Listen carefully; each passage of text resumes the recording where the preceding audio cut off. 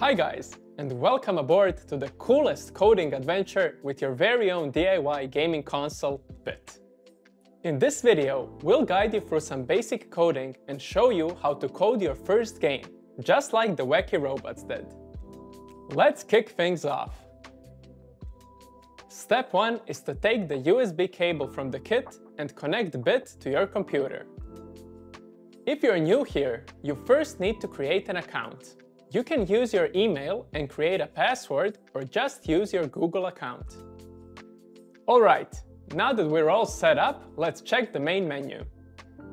Here, you will find a button for creating a new sketch, and next to it, you'll have access to your saved sketches in the future. At the top of the site, you'll see an option to restore firmware. This will allow you to reset Bit to its original state. We'll show you how this works at the end of the video. To start coding, click on the new sketch. Type in rock, paper, scissors because that's what the Wacky Robots named this game. Since your device is still running the stock firmware, meaning that it still has games that come with the device, you first need to install MicroPython onto it.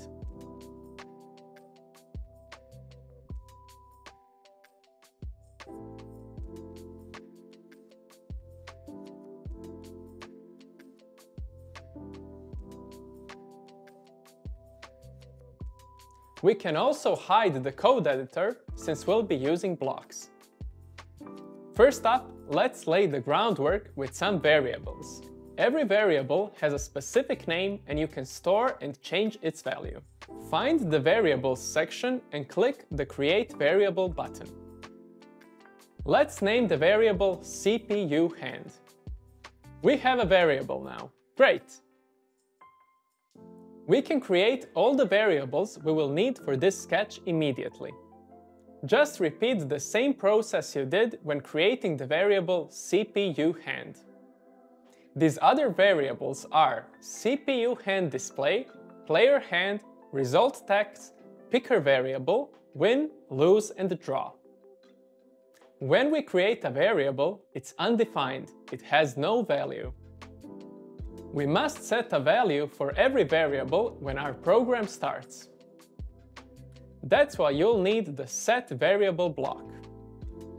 Drop the set variable block into the drawing area.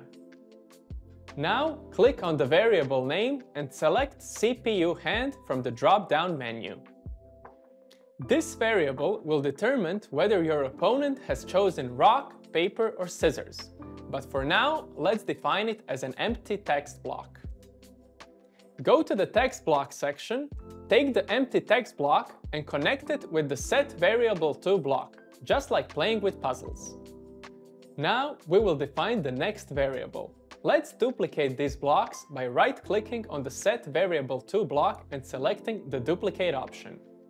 Connect these new blocks with the previous two blocks change the variable to CPU hand display and put a question mark inside the text block. This variable defines what will be displayed on the screen as your opponent's chosen option. At the start of the game, it will just be a question mark. Repeat this process for the following variable, player hand. Define it as paper at the start of the game, but remember, you will be able to change it before showing it to your opponent. Let's define the following variable, result text, as an empty text block, just like we did with CPU hand. The following three variables, win, lose and draw, will be defined with boolean operators. These can be true or false. We will define all of them as false at the start of the game, as shown here.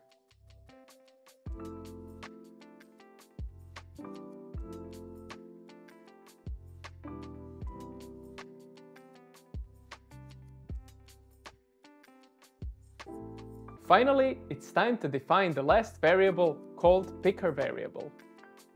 This one randomly generates rock, paper or scissors for your opponent.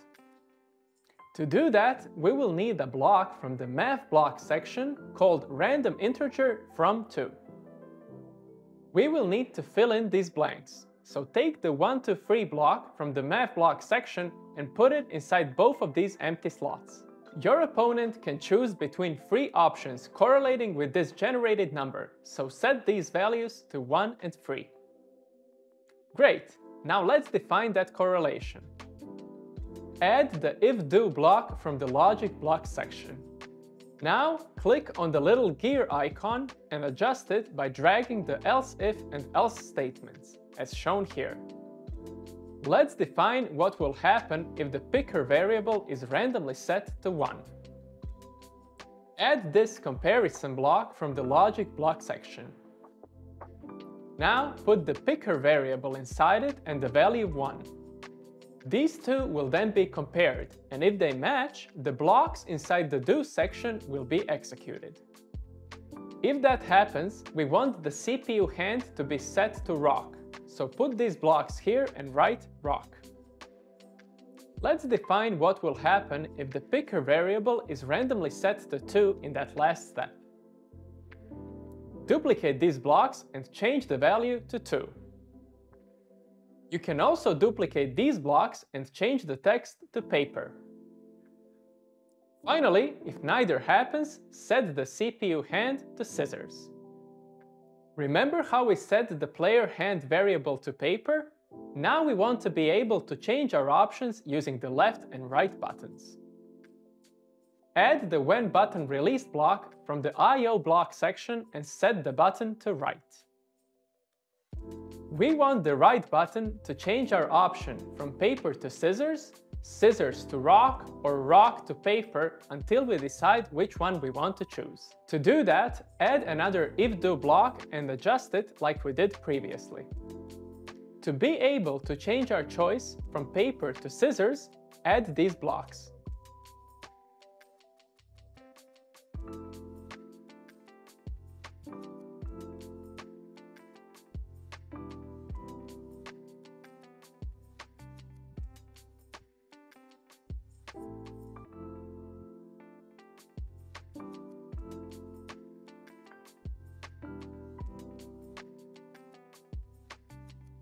If we click and release this button again, it will be changed to rock. To achieve that, add these blocks.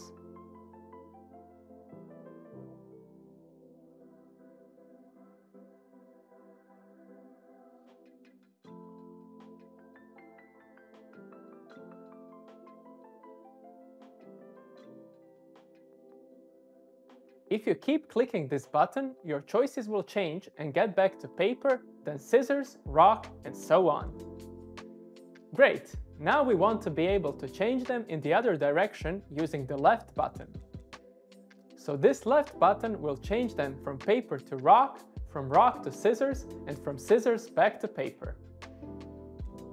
Let's copy this whole set of blocks. Change it to the left button and change the order as shown here.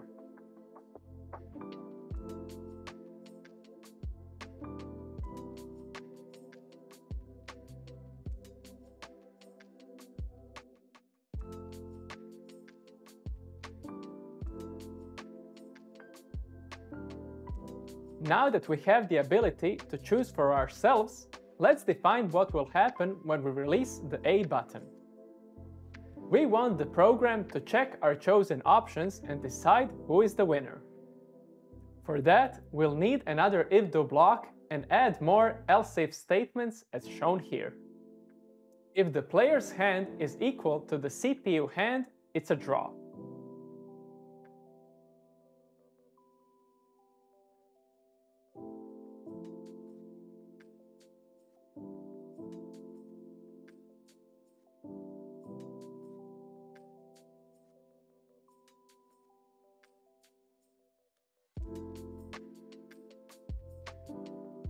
Now let's check how to win. One of the possible combinations would be that we picked rock while the opponent has chosen scissors.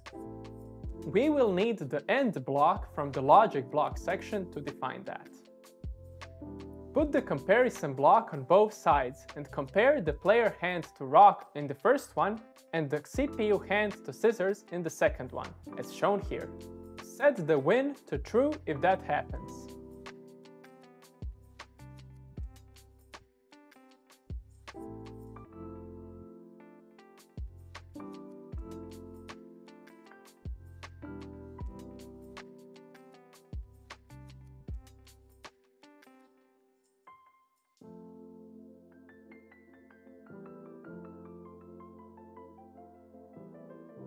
Another combination would be that we picked scissors and the opponent chose paper. Duplicate these blocks and change them as shown here.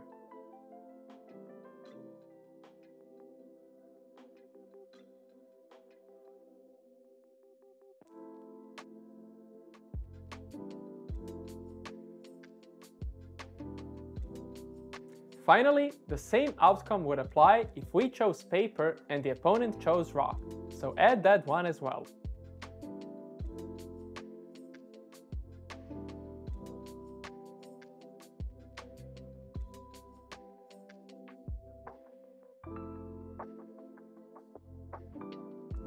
If we didn't win and it's not a draw, then we must have lost, so we don't need to define those combinations. Just put set lose to true inside the else statement. We also want to be able to reset the game so that we can play again. We'll do that by releasing the B button. Put the When B button released from the IO block section. First, we want the win, lose and draw to reset to false. That way, we neither lost, won or drew the game. We are back at the beginning. We can duplicate that from the beginning of our code. We can also duplicate these blocks since we want the CPU hand display to show a question mark again and the results text to be empty. Now the picker variable needs to be reset again and a new option needs to be chosen for your opponent. To do that, copy this set of blocks we defined at the beginning. Great, we're done with the inputs. Let's add a loop forever block from the loops block section. Whatever we place inside will constantly be checked, and it will ensure that the game runs smoothly. Here, we'll define what happens if we win, lose, or draw. Add another if-do block and adjust it like shown here. If we win, we want the background to turn green, our opponent's chosen option to be shown to us, and the results text to display you won.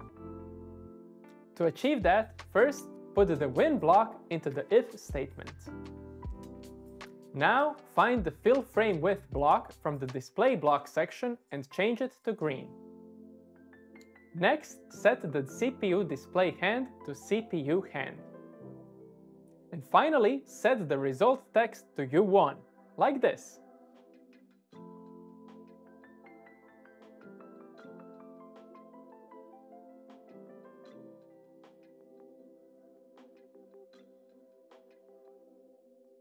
Let's now define what happens if we lose. Let's put the lose block here and now for the outcome. The background will turn red. The CPU display hand will be set to CPU hand, just like when we win. The results text will display the message you lost.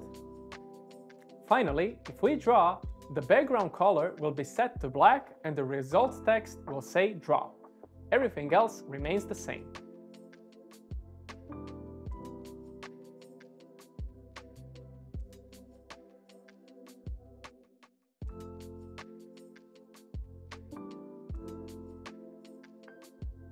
If neither of these conditions are met, we want the background color to be black, so let's add that. Now we want all of this to be written on the screen, so that we know what's going on at any moment. Add the write block from the display block section. Put the text CPU hand at coordinates x equals 2 and y equals 5 in white, as shown here. Bits display has a 128 times 128 pixel resolution, so these coordinates match those pixels. Now let's write the CPU hand display at coordinates x equals 2 and y equals 15 in white.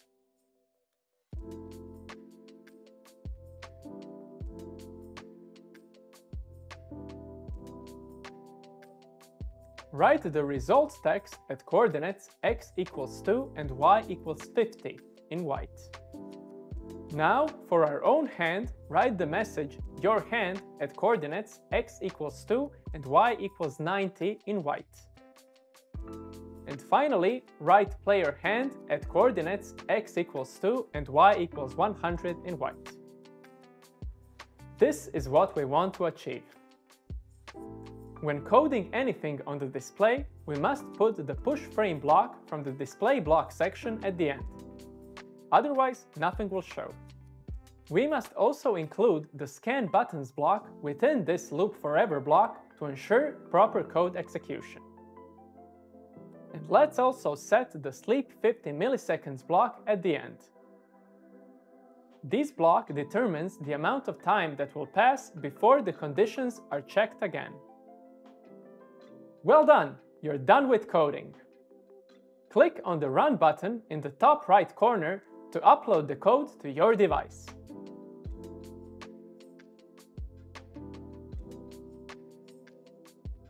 Now try pressing the left and right buttons to see what happens. When you've decided which option to choose, click the A button. Did you win or lose, or was it a draw? If you want to play again, click on the B button to reset the game. Have fun and congratulations! You were able to program a new game onto your device just like the Wacky Robots. If you want to put the stock firmware back onto your device, you can just go here and click on the Restore Firmware button.